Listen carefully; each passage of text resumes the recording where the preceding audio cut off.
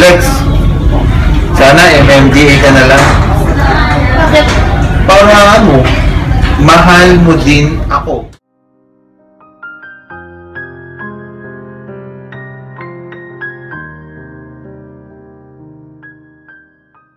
Mahal din naman kita. Hindi lang kaibigan.